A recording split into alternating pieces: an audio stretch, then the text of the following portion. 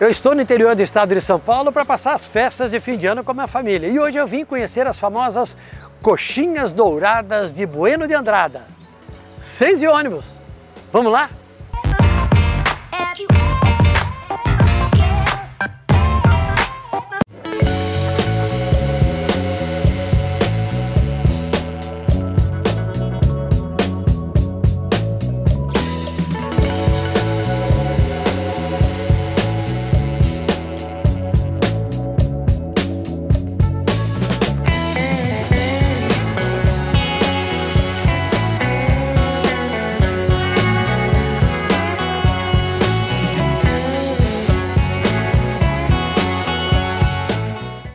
Bueno de Andrada fica a 11 quilômetros de Araraquara, que é onde eu estou hospedado nesta época. Aqui é um lugar tranquilo, é um distrito, tem um pouquinho menos de 2 mil habitantes, uma pracinha muito simpática, passa o trem aqui na frente. Agora, a atenção de todo mundo quando vem para cá é para experimentar a coxinha. Então, a partir desse instante, nós vamos passear pra, por aqui e mostrar para vocês como é que a coxinha tão famosa é produzida. Quem não gosta?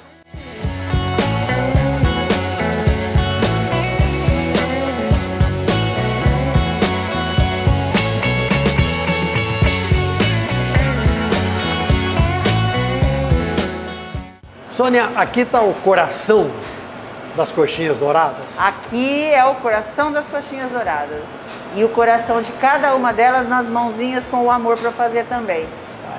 Você tem, você pode usar, você tem uma máquina onde você faz uma forma básica, Isso. né? Que está funcionando ali. Agora depois, tudo é feito manualmente. Tudo manualmente. Qual é o papel desses funcionários, dessas pessoas, na hora de montar a coxinha? Essa forma de fazer o buraquinho, elas faziam na mão antigamente. Então era muito trabalhoso, cansativo. Então nós fomos atrás de quem fizesse essa máquina pra gente. O peso da coxinha, quando ela fica pronta aqui, qual é? 190, E depois que ela passa pela fritura, 180. ela perde 10 gramas. Perde 10 gramas. Sei. Porque ela seca, né?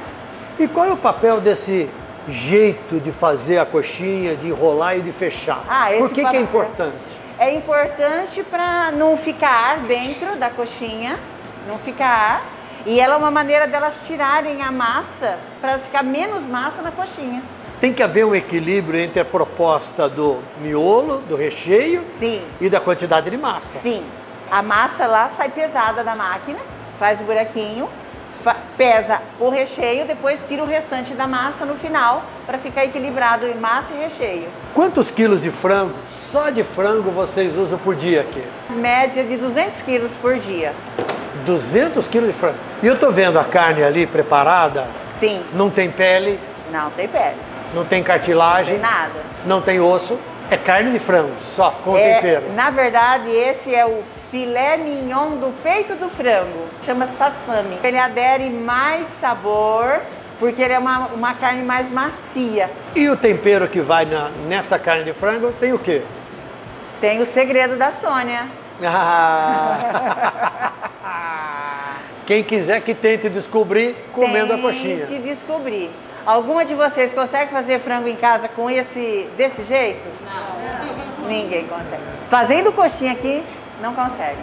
Qual é o segredo da fritura? O ponto certo da temperatura do óleo. Tem que estar bem quente. Não tão quente, não nem frio. Mas em casa, a pessoa não tem um termômetro. Como é que ela Mas- percebe que a temperatura do óleo está boa para fritura? Na coxinha, por exemplo, eu vou fritar uma coxinha.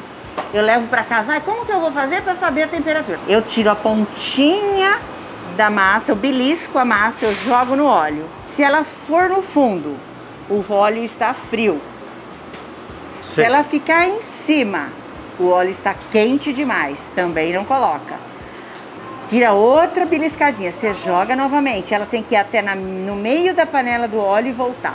Perfeito. É esse o ponto de fritar a coxinha. Ah, então ela tem que afundar até a metade. A metade e voltar. E voltar para cima. Isso. Esse é o ponto de casa e dá certíssimo. Tá.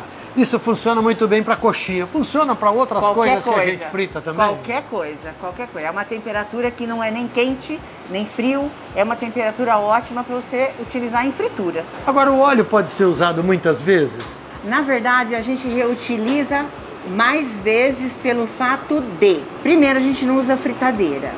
Segundo, a gente coa constantemente a, a, farinha que fica embaixo, porque ela sai, né? A farinha do, do empanado. Então, o óleo demora três vezes mais para queimar, para saturar. Na verdade, o nosso óleo nem satura, a gente tira por outra, outro motivo. Dele tá muito assim, é, cozinhando a coxinha e não fritando, que é outro, outra coisa que é só na fritura, muitas vezes fritando, que você descobre.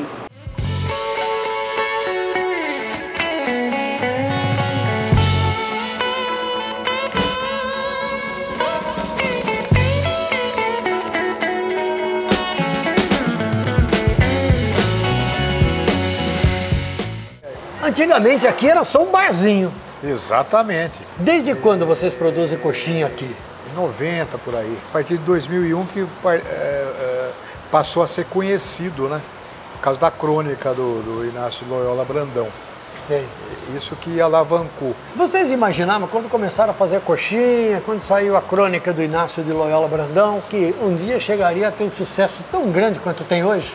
Não, jamais foi uma coisa surpreendente mesmo. A gente sabia da probabilidade de, de ter sucesso, mas não tão relevante, tão uh, astronômico assim. A partir daí foi apenas o pontapé inicial de uma partida, né?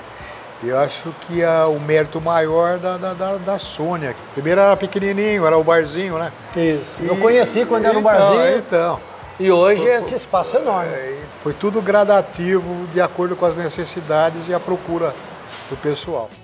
As pessoas compram as coxinhas e muitas vezes preferem comer aqui na praça, bem em frente. Olha que lugar simpático. Tem mesinhas de cimento, uns banquinhos, tudo debaixo das árvores. Aí as famílias, os amigos ficam espalhados por aqui com a minha coxinha, um sanduíche, uma cervejinha, olha como é gostoso. E bem na frente fica esta antiga estação de trem de Bueno de Andrada. Antigamente passavam trens de passageiros aqui. Depois, com o tempo, isso desapareceu e agora nesta área só passam os enormes trens de carga. Mas a estaçãozinha está aí e ajuda a criar um cenário muito gostoso nesse cantinho do estado.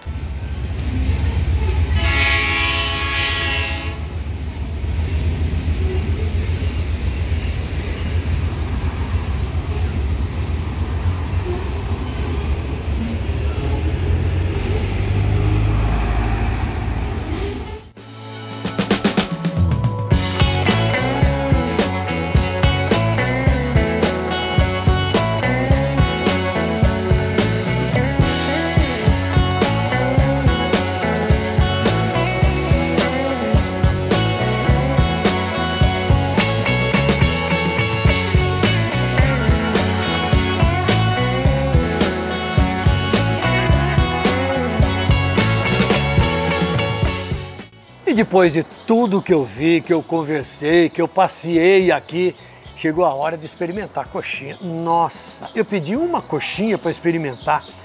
Aí a dona Sônia me mandou isso aqui tudo, ela disse que é para uma família, né? Aí a família olha isso aqui e já começa comendo com os olhos. Eu vou pegar uma coxinha, tem a coxinha maior, a coxinha do tamanho padrão e a coxinha menor, para quem prefere, né? Olha isso. Quando eu falo que é coxinha dourada, porque você já percebe, né? Agora eu vou abrir uma coxinha para mostrar para vocês antes de comer, porque ó, vou puxar esse prato um pouquinho. Hum, hum, hum, hum, hum. Pam, pam, pam. Ó, que coisa maravilhosa. A casca a massa da coxinha não é grossa, né? Então a gente não fica com aquela sensação de enganação. Sabe quando você come muita massa e pouco recheio? E aí vem o recheio que. Hum, gente, a mão viu? Mão demais. A Sônia não contou qual era o recheio que tinha aqui, né? Eu só posso identificar que tem temperos variados, a carne de frango. Não entendo nada disso, só posso dizer que está muito bom. Hum. Ana Maria Braga entraria por debaixo da mesa. Eu vou continuar comendo a coxinha aqui e fica o convite para vocês. Passando por essa região do estado de São Paulo, dá uma paradinha em Bueno de Andrada e vem conhecer essa maravilha. E aí, tá gostando do nosso canal? Conte para os amigos, comente, compartilhe as informações. E a minha camiseta? Você quer ter uma igual? Dá uma olhadinha aí no site. Um abraço para vocês e até a próxima.